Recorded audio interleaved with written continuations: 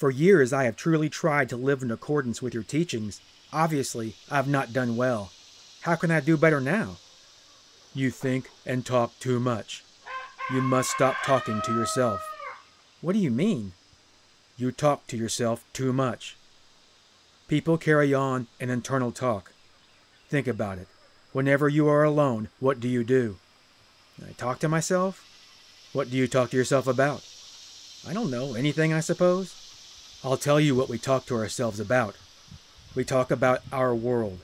In fact, we maintain our world with our internal talk. How do we do that?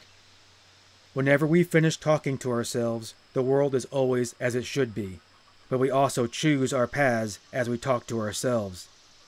Thus, we repeat the same choices over and over until the day we die, because we keep on repeating the same internal talk over and over until the day we die. A warrior is aware of this and strives to stop his talking.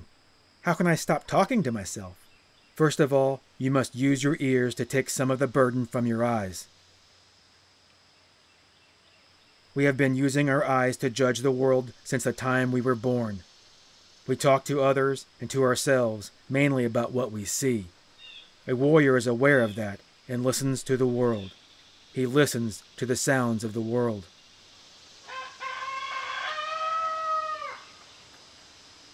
I put my notes away.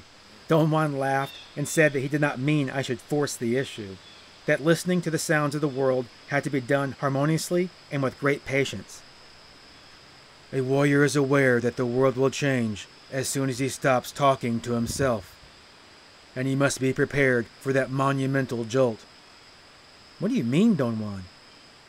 The world is such and such, or so and so, only because we tell ourselves that that is the way it is.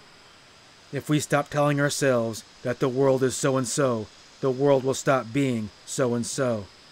At this moment, I don't think you're ready for such a momentous blow. Therefore, you must start slowly to undo the world. I really don't understand you.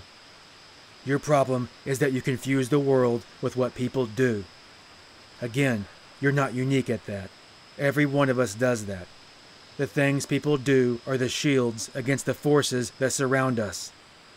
What we do as people gives us comfort and makes us feel safe. What people do is rightfully very important, but only as a shield. We never learn that the things we do as people are only shields, and we let them dominate and topple our lives. In fact, I could say that for mankind, what people do is greater and more important than the world itself. What do you call the world? The world is all that is encased here, he said, and stamped the ground. Life, death, people, the Allies, and everything else that surrounds us. The world is incomprehensible. We don't ever understand it. We won't ever unravel its secrets. Thus, we must treat it as it is a sheer mystery. An average man does not do this, though.